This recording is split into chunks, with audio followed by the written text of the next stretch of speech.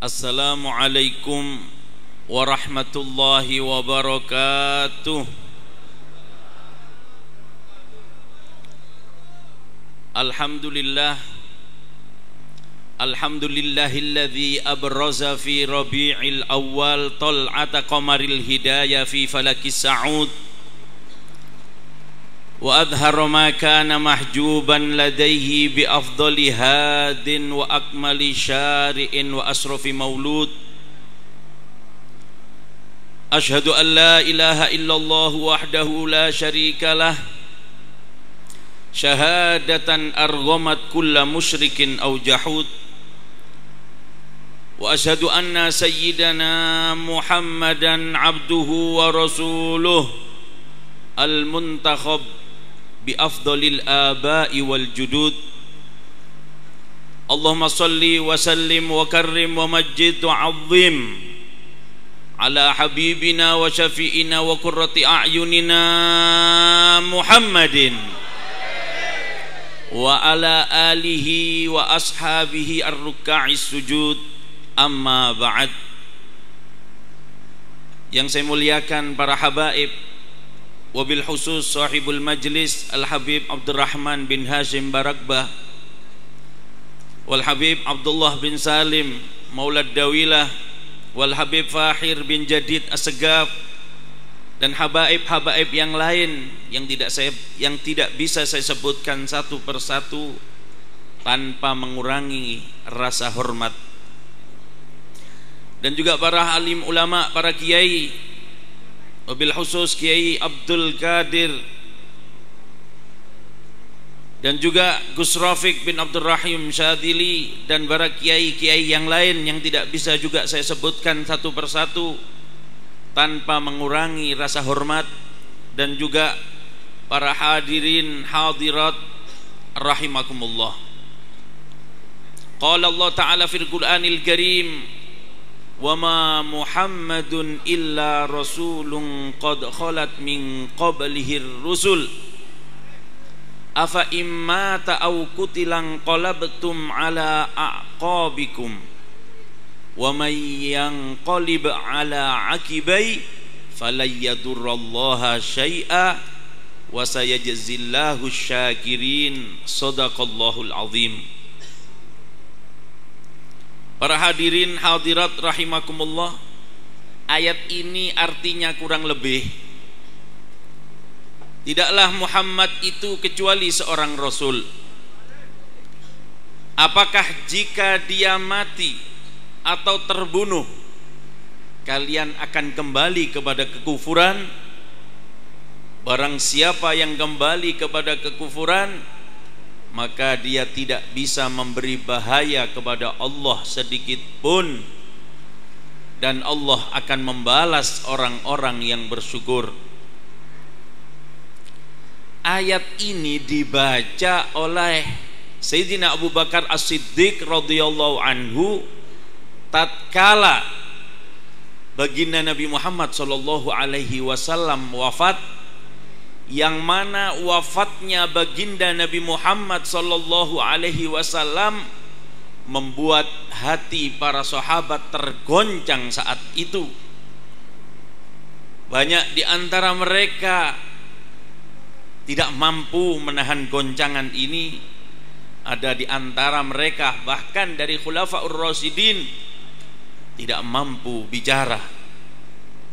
Ada yang tidak mampu berjalan dan tidak kalah dengan itu Sayyidina Umar bin Khattab radhiyallahu anhu. Beliau mengangkat pedang. Beliau mengatakan siapa yang mengatakan Muhammad wafat Nabi Muhammad Rasulullah wafat maka aku akan tebas batang lehernya. Ini beliau lakukan bukan karena beliau tidak terima dengan takdir Allah hasya wa kalla tidak mungkin itu terjadi di kalangan para sahabat yang mereka sangat mantap dalam imannya kepada Allah. Mereka adalah imamuna pemimpin-pemimpin kita di dalam taat kepada Allah Subhanahu wa taala. Maka jadi tidak mungkin itu diungkapkan atau terjadi di pada mereka karena itu tidak terima dengan takdirnya Allah Subhanahu wa taala. Hadirin hadirat rahimakumullah. Ayat ini dibaca oleh Sayyidina Abu Bakar. Dilanjutkan dengan khutbah beliau yang terkenal. Beliau mengatakan mangkana Muhammad mangkana ya'budu Muhammadan fa inna Muhammadan qad mat wa man kana ya'budullah fa innallaha hayyun la yamut Barang siapa menyembah Muhammad sesungguhnya Muhammad telah wafat. Dan barang siapa menyembah Allah sesungguhnya Allah adalah zat yang maha hidup dan tidak akan pernah mati. Hadirin hadirat rahimakumullah.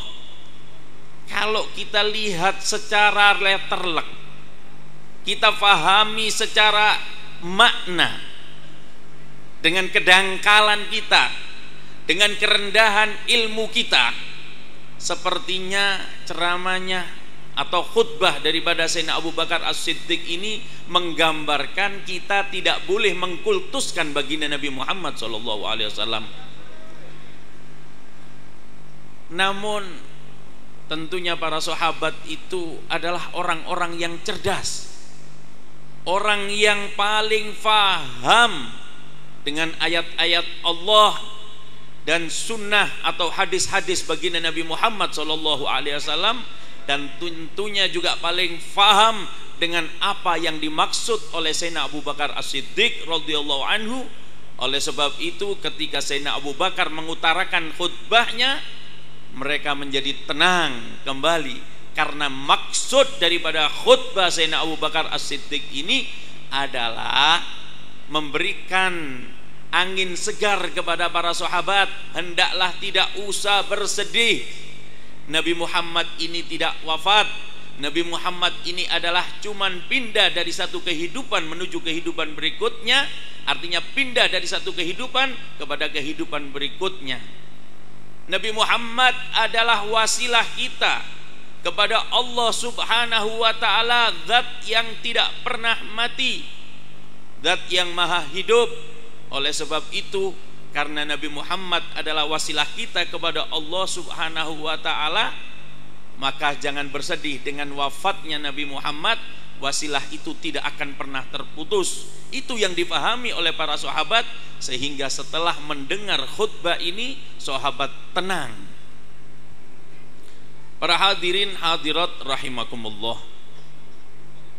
Ini terlihat bagaimana para sahabat setelah Nabi Muhammad, setelah Rasulullah Shallallahu Alaihi Wasallam dipanggil oleh Allah Subhanahu Wa Taala, mereka menghidupkan Nabi Muhammad di dalam hatinya.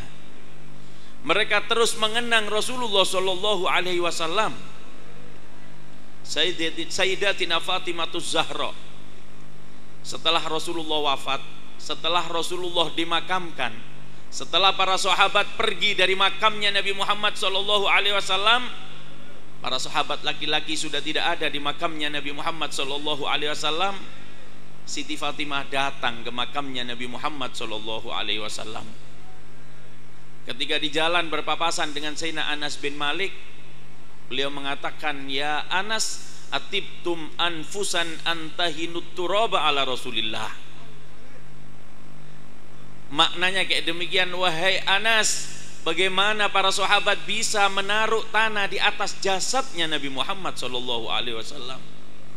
Apa jawaban Sayyidina Anas bin Malik saat itu? Waihana waihana waihana ya Fatimah. Celaka kami celaka kami celaka kami wahai Fatimah lau asma'tina masma'tina al-an mastata'na an nutfina wa kana qad ghayyibna. Wahai Fatimah andai kata kamu ini bicara sejak tadi dan kami mendengar apa yang kau bicarakan pastilah kami tidak akan mampu untuk memakamkan baginda Nabi Muhammad sallallahu alaihi wasallam. Kami seakan-akan tidak tersadar saat itu wa kana qad ini anugerah dari Allah Subhanahu wa taala. Jadi saat pemakaman Nabi Muhammad sallallahu alaihi wasallam para sahabat seakan-akan tidak sadar dengan apa yang mereka lakukan sehingga saat itu Nabi Muhammad bisa dimakamkan. Allahumma sholli ala sayyidina Muhammad. Ini contoh bahwasannya setelah dimakamkan Nabi Muhammad tetap dikenang oleh mereka, disebut kita contohkan agak jauh sedikit masanya. Dalam riwayat insya Allah sering kita dengar cerita ini. Namun boleh jadi semoga ada manfaatnya. Karena berulang-ulang semoga akan masuk ke dalam hati. At-tikror tufidu tikror. Berulang-ulang itu akan bermanfaat dan akan masuk ke dalam hati insya Allah. Sahabat Bilal bin Rabah. Muadzin Rasulullah yang biasanya azan pada zaman baginda Nabi Muhammad sallallahu alaihi wasallam Beliau adalah salah satu sahabat yang sangat tergoncang dengan wafatnya Nabi Muhammad Shallallahu Alaihi Wasallam, sehingga beliau tidak bisa hidup di Madinah. Beliau berjalan, beliau tidur, beliau duduk, beliau makan, selalu ingat baginda Nabi Muhammad Shallallahu Alaihi Wasallam. Akhirnya beliau tidak bisa hidup dengan normal di kota Madinah karena kenangan-kenangan indah bersama kekasihnya Nabi Muhammad Shallallahu Alaihi Wasallam dan beliau tidak bisa makan, tidak bisa minum. Akhirnya beliau memutuskan untuk hijrah dari Madinah bukan karena tidak cinta kepada Nabi Muhammad Shallallahu Alaihi Wasallam, tapi karena goncangan hati yang tidak beliau tanggung. Artinya sangat kerasnya goncangan, beliau tidak bisa nanggung. Akhirnya beliau hijrah ke Syam. Setelah hijrah satu tahun di Syam, beliau mimpi bertemu dengan baginda Nabi Muhammad sallallahu alaihi wasallam dalam mimpinya dikatakan mahadzal jafa ya Bilal ya Bilal kalau maknanya Jawa ngeten apa kon gak nyopo mbek aku Bilal saiki wayahe awakmu nyambangi aku itu kalau makna Jawanya kayak demikian Akhirnya sahabat Bilal saat itu terbangun dari tidurnya dan segera berkemas, bergegas menuju Madinatul Munawwarah dan saat yang pertama kali dituju oleh sahabat Bilal adalah makam baginda Nabi Muhammad sallallahu alaihi wasallam. Beliau tersungkur di atas makamnya Nabi Muhammad sallallahu alaihi wasallam. Beliau lang beliau rangkul itu makam sambil mengungkapkan rasa rindunya kepada Rasulullah sallallahu alaihi wasallam. Saat itu datang Sayyidina Abu Bakar As-Siddiq dan menyaksikan apa yang dilakukan oleh sahabat Bilal Kemudian juga datang Sayyidina Umar bin Khattab pimpinannya orang yang tegas dalam masalah nahi mungkar. Kalau yang dilakukan oleh sahabat Bilal ini ziarah makamnya Nabi itu sesuatu yang salah atau syirik, maka saat itu juga mungkin kepalanya sahabat Bilal akan ditebas oleh Sayyidina Umar. Namun karena itu bukan sebuah kesalahan. Dan itu sebuah hal yang baik. Itu dibiarkan oleh Sayyidina Umar bin Khattab. Bahkan saat itu Sayyidina Umar meminta sahabat Bilal untuk melantunkan azan sebagaimana zamannya Nabi Muhammad sallallahu alaihi wasallam setelah itu sebelumnya sebetulnya sebelum Sayyidina Umar Sayyidina Abu Bakar juga minta tapi semuanya dua-duanya ditolak oleh sahabat Bilal karena beliau tidak mampu untuk melantunkan azan setelah wafatnya baginda Nabi Muhammad wasallam. Namun ketika dua cucu baginda Nabi datang meminta kepada sahabat Bilal agar sahabat Bilal berkenan melantunkan adzan seperti pada masa-masa baginda Nabi Muhammad wasallam, akhirnya sahabat Bilal tidak mampu untuk menolak dan akhirnya beliau melantunkan adzan. Ketika takbir Allahu Akbar Allahu Akbar penduduk Madinah bergemuruh.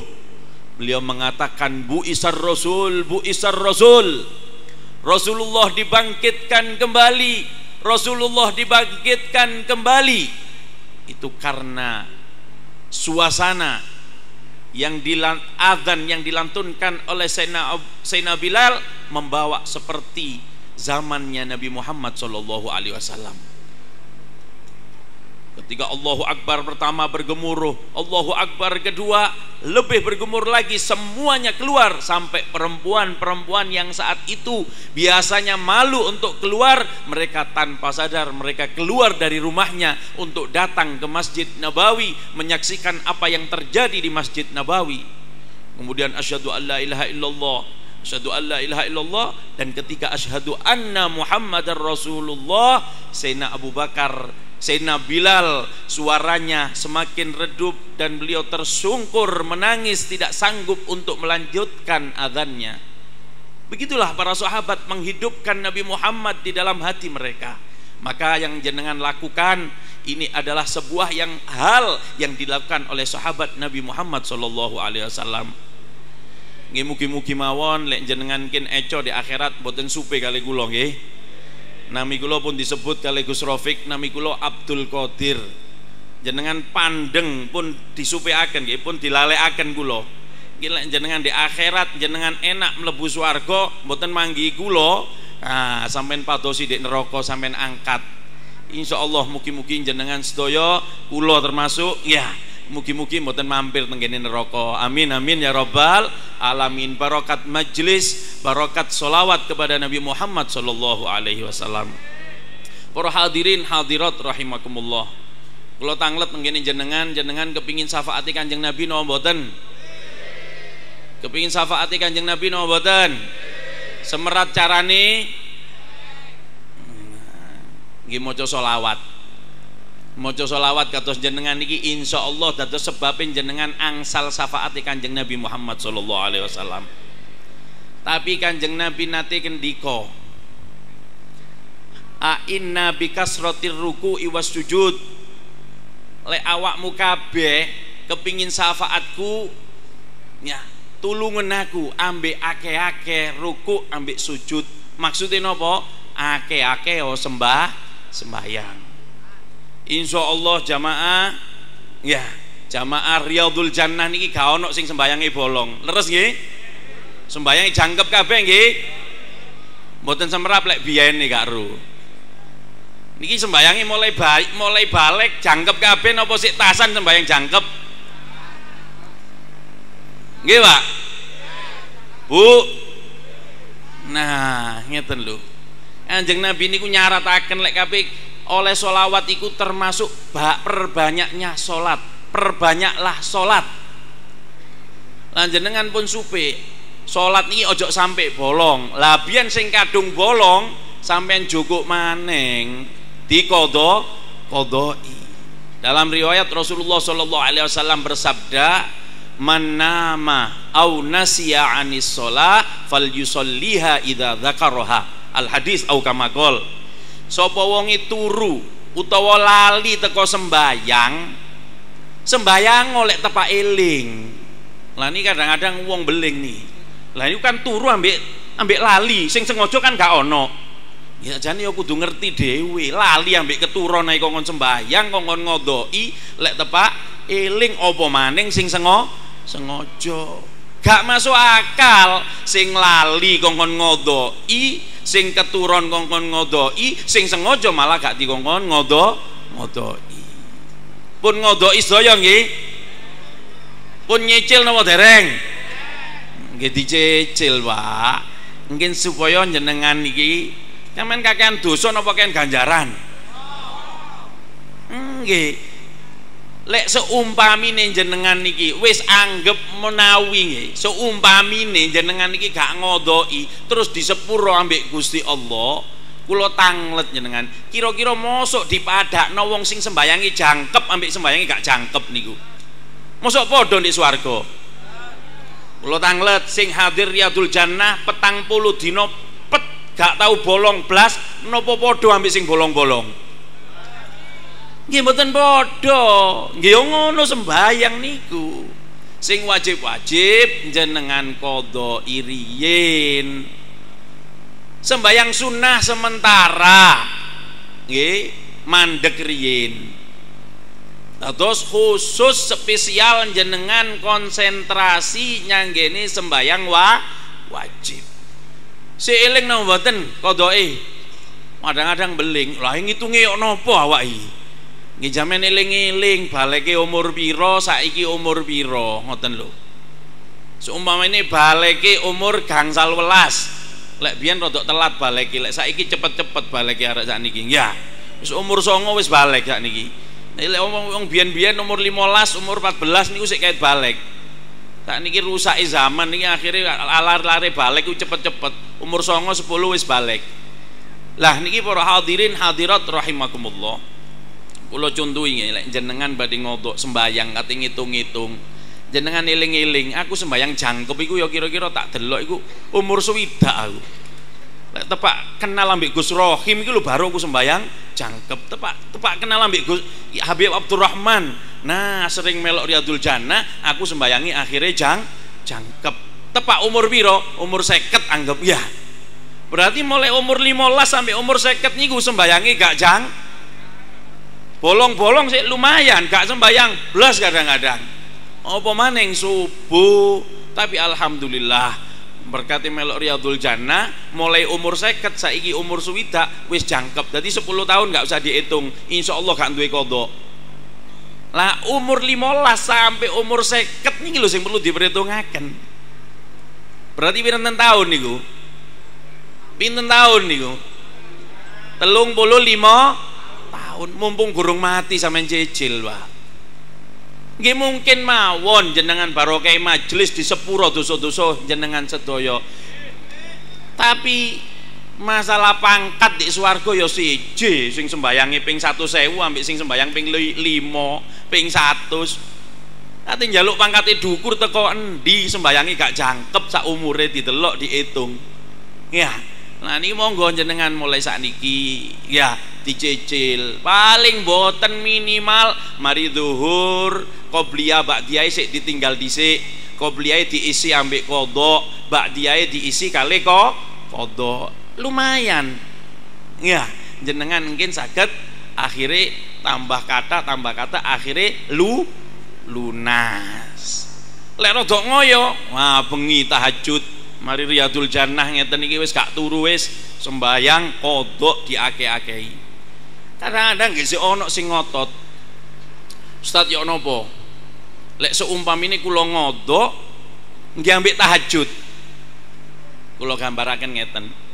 Lek sembayang sunnah iku sik diterima jenengan duwe kodok. Seumpamine diterima sembayang sunnah iku bandingane sunnah iku siji wajib niku sa pitung puluh jadi ganjarane wajib niku petung bulu ganjarane sunnah niku si siji. Anggap lek sembayang sunnah oleh ganjaran sak juta. Jenengan lek sembayang wajib kodok oleh ganjaran petung bulu wong sing pinter milih ganjaran sak juta no petung bulu juta? Jenengan pinter no boten ah kadang-kadang sik ngenyang krana fadilai jam fadilai tahajud niku koyo ngeten-ngeten akhirnya yok napa Ustaz? Lek kula niku ngodoke 5 tahajude siji mawon kula lek hitung-hitungan seumpamine sunnah niku sik diolehno nggih. Pitung puluh ping lima ketemu pinten? Telung atus saya gak tau duwe akeh sampean niki paling Pak. Ya Dijak hitung-hitungan kok rada gak cepet ngoten ya Petung puluh ping lima pinten? Telung saya ditambahi siji pinten? Telung atus si telung atus seket siji. Ganjarane telung atus seket siji. Coba kodok kabeh niku enam kodok tok. Pitung puluh ping enam ketemu pinten? Pinten? Petang atus rong puluh. Akian pun di telung atus seket siji ambil petang atus rong puluh Nah sing pinter ya milih sing petang atus rong seumpamine sembayang sunai diolehi. Padahal ngene pendapat fikih niku lek sing duwe utang niku gak oleh sembayang sunnah saderenge qada lunas. Nggih pun isin-isin. Kadang-kadang nek masjid niku sampai imam-imame rawatib niku yo duwe utang. Nggih kula duwe utang pisan. Dadi sak masjid niku jamaah ya utangan kabeh kadang-kadang bahas kados ngeten. Lo Ustaz sembahyang niku gak diutang no jadi gak usah disaur. Lo sampean niku jani dalil iki digawe sak durungi utang biyen. Sampean wis seru dia diutangno kok utang ae. Lah niki monggo jenengan niki sing duwe kodok nggih di kodoi. Jadi ojo nggawe dalil sembayang gak Gusti Allah gak ngutangno sembayang lah sampean sing wedhik weruh gak diutangno ya si utang ae. Lah niki monggo jenengan niki sak sampune bubar majelis niki lek sik ngantuk nggih sampean tilem. Mungkin mari subuh mari sembahyang subuh biasanya lek sembahyang sunnah lah mboten salah lek kodok bebas. Kodok niki bebas jenengan angsal ngelakoni mari subuh angsal mari asar angsal terus diwalak-walik waktu nih subuh di dalam di gini asar asar di dalam di gini isya isya di dalam di gini maghrib maghrib di dalam di gini zuhur bebas ya ini mumpung mawon niki sih Ramadan cek rodok suwe Nah, ini lek Ramadan cedek ngoten terawih nu sini ambek kodok. Carane carane cek mboten ketara. Ya napa? Nah, terawih iku kodok subuh tok. Biasanya subuh niku sing paling akeh kok utangi. Nggih leres? Subuh sing paling akeh utangi. Leres nggih? Hmm, ngaku kabeh niki Habib. Nggih mugi-mugi mawon mari ngono wis nyaur utang kabeh, lunas kabeh, pangkate dukur kabeh indallah. Amin amin ya rabbal alamin. Para hadirin hadirat rahimakumullah. Selain niku sing dijogo, syariat Kanjeng Nabi jenengan jogo. Niki ngadepi niki wis salah wong Islam niku gak usah melok-melok perayaan ya. Perayaan riyayane wong liya. Cukup gak ganggu niku mawon termasuk toleransi niku adalah tidak mengganggu. Tanpa harus mengucapkan selamat Natal, selamat niki gak usah. Sok-sok rahmat rahmatan lil alamin ae. Mboten usah wis. Rahmatan ganggu mboten usah ganggu ngoten tok pun. Gak usah ngilokno ya gak oleh. Terus mari ngonten tahun baru kados ngeten niki mari gak usah tuku trompet ya. Wis sampean simpen urunan tuku terbang ngono lho ya. Insya Allah sih nerimo niku terbang anyar-anyar niki pun lawas no mboten Beb baru ya. Lek niki pun anyar kabeh insyaallah di pusat biasa ya di wilayah-wilayah di kordes-kordes barang wis lawas-lawas jebol-jebol kadang ditempel ambek sulasi barang niku Beb ya gak usah tuku trompet tuh kok no terbang ae insyaallah manfaat insyaallah barokah. Amin amin ya robbal alamin. Kesimpulannya ceramah kulon ini nomor siji kuatkan hubungan kita dengan Nabi Muhammad Shallallahu Alaihi Wasallam dengan memperbanyak solawat dan menghidupkan sunnah-sunnah Nabi Muhammad. Yang kedua agar sholat syafaat itu kita dapatkan adalah perbanyak sholat. Sing wis gak utang sembahyang sunnah tapi sing duwe utang jangkepono dhisik niku. Sakjane sebetulnya niku duduk nyaur utang sakjane. Njukuk ganjaran sing biyen jenengan durung pendet krana napa jenengan ngodok iku duduk gratis. Oleh ganjaran wajib tasian oleh ganjaran wa wajib. Artinya napa jenengan jukuk ganjaran biyen sing jenengan boten dijupuk kan enak niku. Enakan pundi jenengan? Dikai kesempatan cukup pahala atau tidak dikasih sama sekali? Enak pundi? Nggih. Enakan dikasih kesempatan. Dikasih kesempatan tidak digunakan yo eman-eman yang terakhir adalah jaga akidah jenengan. Itu yang menyebabkan jenengan selamat yang menyebabkan jenengan itu bersambung dengan baginda Nabi Muhammad Shallallahu Alaihi Wasallam. Itu saja yang bisa saya sampaikan. Kurang lebihnya mohon maaf. Wabillahi taufik wal hidayah inayah. Assalamualaikum warahmatullahi wabarakatuh